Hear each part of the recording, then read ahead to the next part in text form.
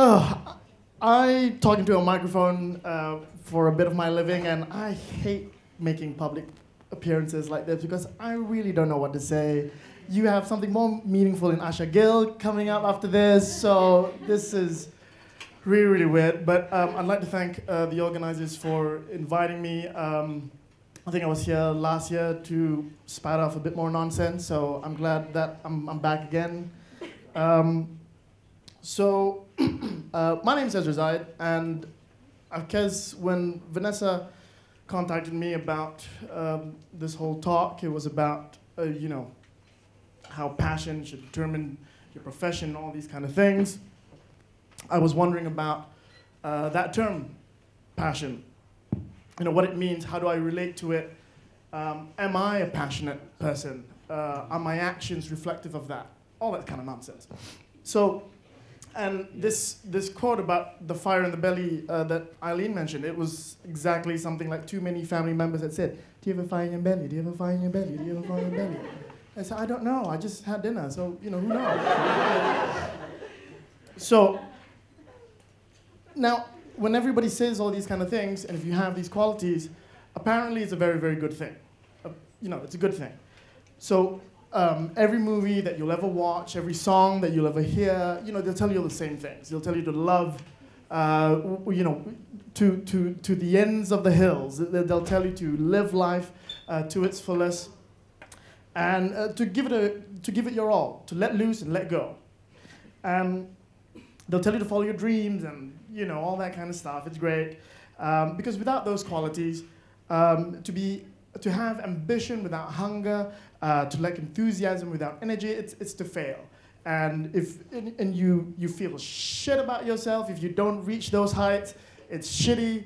And am I supposed to say shitty in a college? Probably not, but you know we'll give it a go. Now, um, if you guys grew up like I did, uh, then you would have heard a, a lot of these success stories.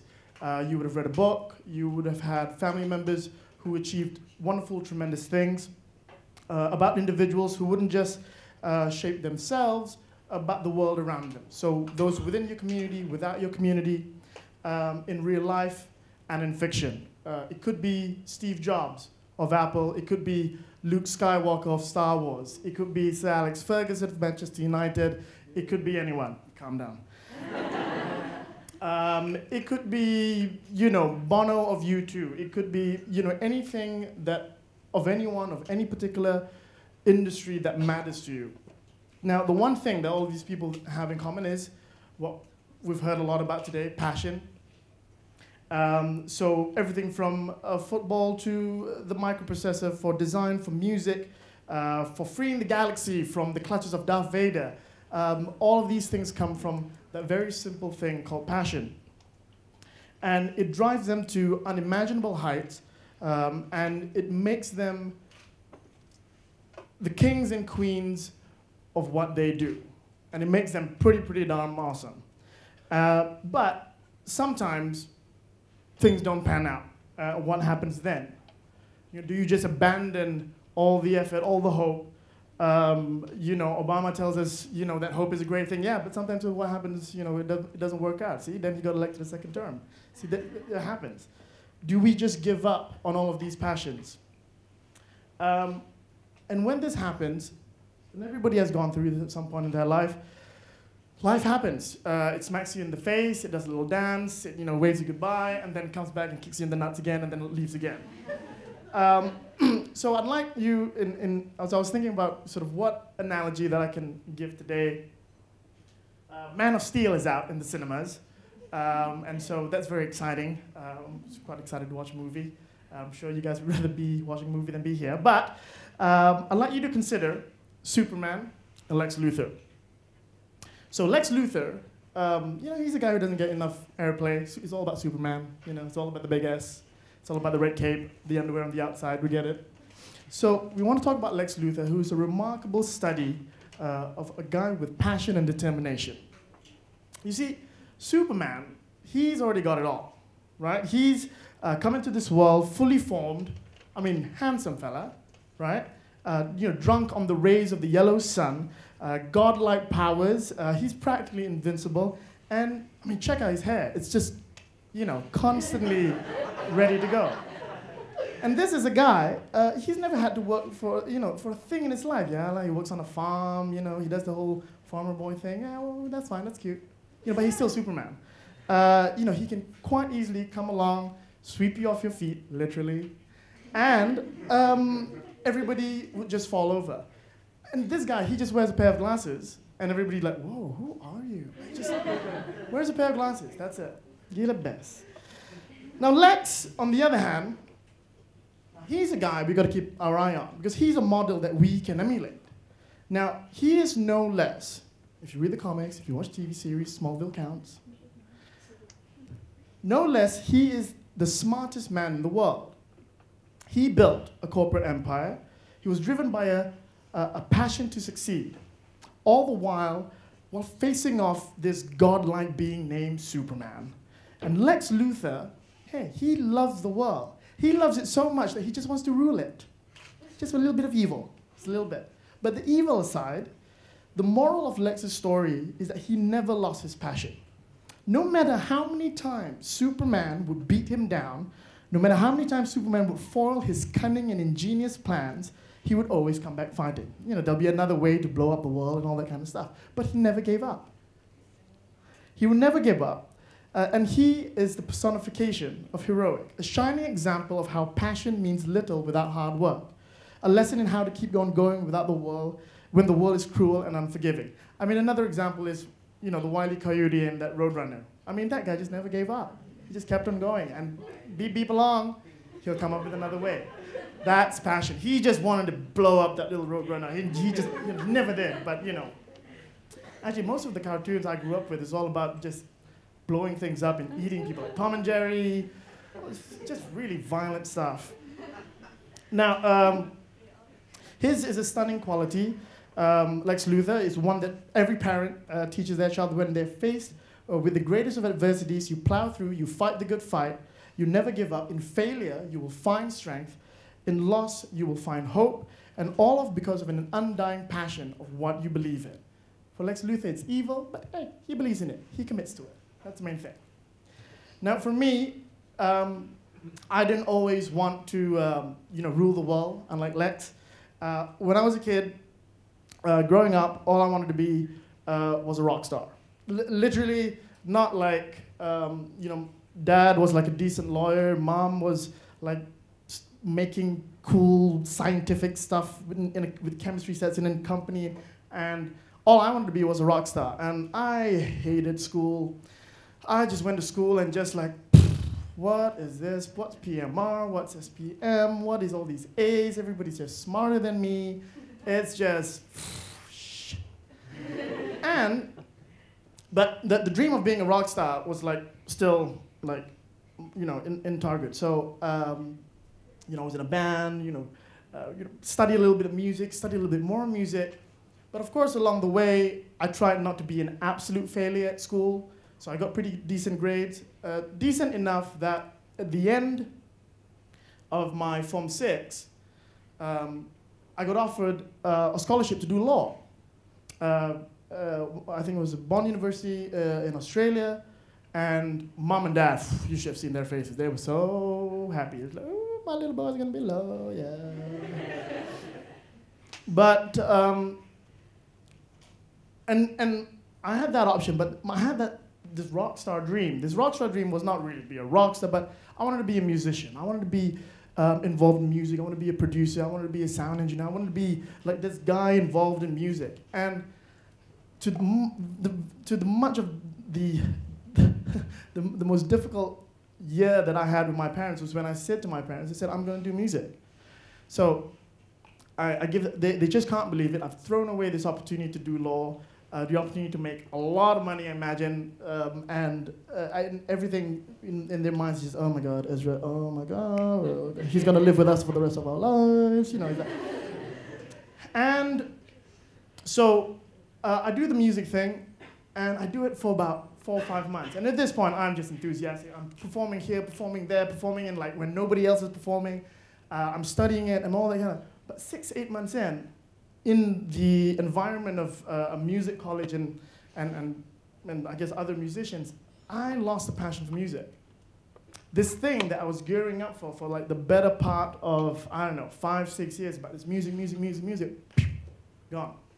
I don't know what sucked the passion out of it. It might have been the campus, it might have been the environment, but it just wasn't it. And so you can you imagine the conversation I had to have with my parents? Like, yeah, I don't think this thing's gonna work out for me. Went up to my folks, and of course they were like, all right, we got him back. He's gonna be a lawyer.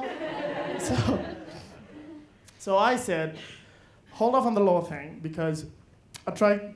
I'll do a degree for you guys, and I'll study and attend some classes and you know come along the way. And by doing so, I spent the next four years actually in Canada, and um, I studied a whole bunch of things. And mostly I studied these courses and got into these majors not because I found uh, you know, the question of human civilization so fascinating and interesting. I, I, it's not that I had existential questions about life and religion. It was I mostly entered these courses because like the hottest girls that I wanted to follow into a study group would go into those courses. I just yeah, I'll sign up for that class. I signed up for that class and that class, and eventually I got stuck in these majors, politics and philosophy specifically, because the girl that I followed into then switched majors, and you know, it, it, yeah, I just got stuck. And I didn't want to like extend my university years more longer than I could. So I graduate. Along the way, you do a lot of silly stuff along uh, when you do in your early 20s, and you have to because I don't know, you got to live life, lah. If you don't, then you're gonna end up just really old and crinkly and really angry at life, not knowing that you didn't make the most of your 20s. So I did a lot of fun stuff, a lot of great stuff, met a lot of people. Um, and I'd watch like a whole bunch of things, watch concerts, watch television, and all that kind of stuff. But all along this, I actually don't know what I'm going to be. I've got the backlog of me being a failure of wanting to be a musician. I've got the disappointment of a family that I'm not going to be a lawyer. I've got, uh, he's a second son. Well, of course he's going to disappoint. Well, what else you can expect from him? So I have all of these things going on, of which um, I get a job in Canada. I, you know, I do like a whole customer sales representative thing, and it's not really, you know, when I wake up, I mean, I do it pretty well. You know, people say, hey, you want more sports channel? Yes, sir, I can do that for you. You you want more porn? Thank you very much. I'll do that for you. You want to pay your bills? I'll do that.